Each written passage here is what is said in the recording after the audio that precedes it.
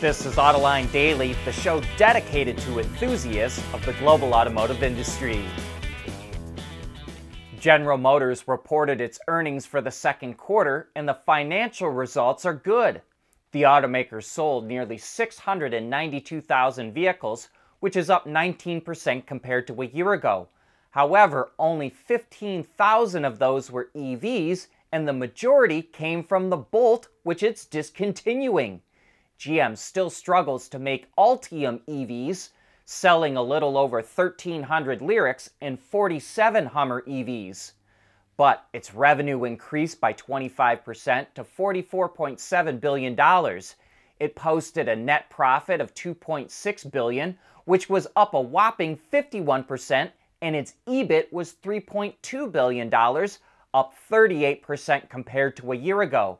And thanks to those results, GM increased its full year profit guidance and it now expects to hit a net income of 9.3 to 10.7 billion dollars, up from 8.4 to 9.9 billion in a previous forecast.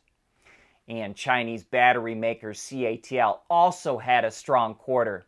It posted a net profit of $1.5 billion, which is up 63% compared to a year ago but its growth slowed from the first quarter when its net profit surged 558%. That's because CATL is facing more competition and has been losing market share to BYD. Speaking of EV batteries, the Hyundai Group just opened a new battery research center in Korea with Seoul National University and is investing $23 million by 2030 into the collaboration. A total of 22 research projects will be carried out in four divisions, including lithium metal batteries, solid state batteries, battery management systems, and battery processing technology.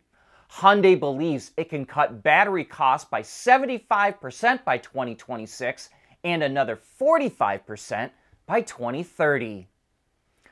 Earlier this month, it was reported Tesla is in talks with the Indian government to produce EVs in the country.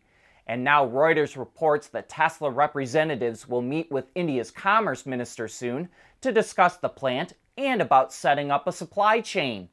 The factory will reportedly build a model that starts at just $24,000, which is 25% cheaper than its current least expensive model. But we don't know for sure yet if it's an all new model. But it won't be sold in just India. It will be exported to other markets as well. The Indian car market is growing fast and it's now the third largest in the world. However, EVs account for less than 2% of sales right now.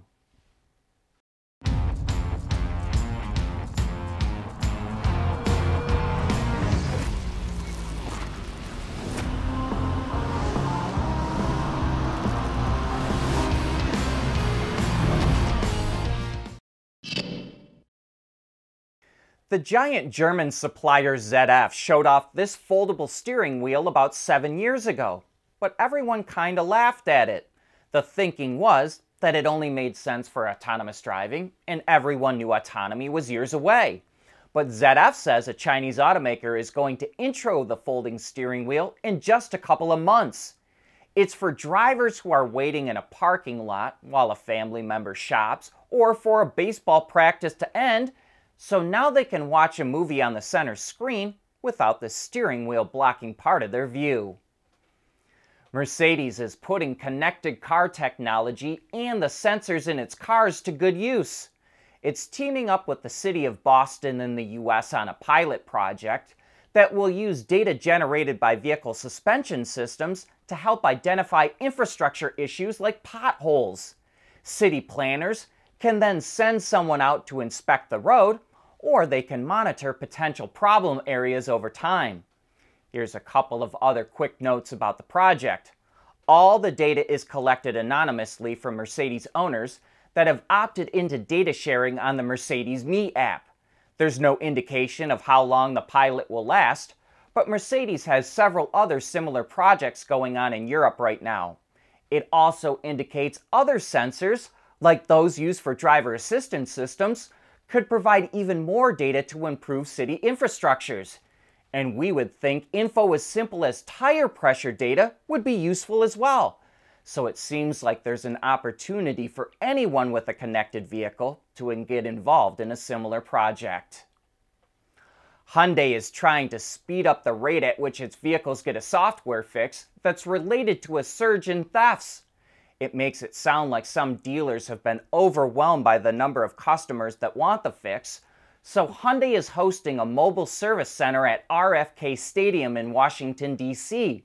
It reached out to roughly 37,000 owners in the area and will have a number of trained technicians on hand to complete the software upgrade, which it says should take less than an hour. The wave of thefts came after viral videos showed how to easily start some Hyundai and Kia models that came without an engine immobilizer. As I said yesterday, I can talk about the Mustang GT today, so let's get into it. I drove a convertible version with the manual transmission, but without the performance pack, which means no MagneRide suspension or Brembo brakes. Even so, the setup was well balanced, doing a good job of providing feedback while approaching the limits. It made the car feel stable and gave me confidence as a driver. But compared to the lighter EcoBoost with MagneRide suspension and Brembo brakes, the GT that I drove felt more well suited for sport grand touring driving than for tight twisting bends. The manual is a six speed unit from Getrag, and it had a really long third gear that allowed for good power delivery from 35 to 85 miles an hour. There's also a 10 speed automatic available. The fourth gen Coyote 5 liter V8 features dual air intakes that lead into dual throttle bodies for the first time, which help it make more power 480 horsepower to be exact, or 486 with an optional active exhaust system. Now, I know this video of a colleague doing a hard launch is underwhelming, but the seat of your pants feel is really good thanks to 415 pound-feet of torque. Lastly, the new Mustang is full of Easter eggs, and in spirit of talking about the V8, I'll share a couple of under hood Easter eggs that were shown to me. Under the air filter cover on the passenger side is the old famous Ford V8 logo, and on the driver's side are the different generations of V8 engine displacements. And with that, we wrap up today's show. Thank you for tuning in.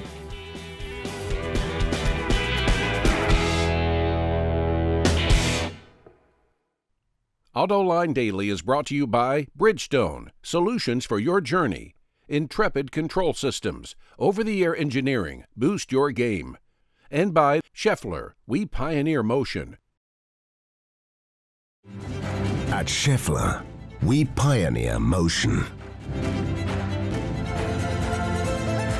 Electrifying mobility.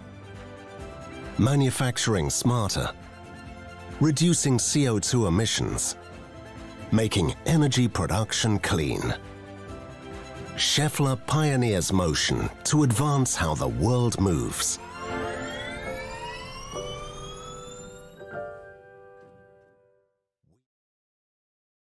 We want to know what drives your testing. OTA, connected car, diagnostics, remote testing. Intrepid Control Systems is here to help you work from anywhere. Intrepid Control Systems, driven by your data.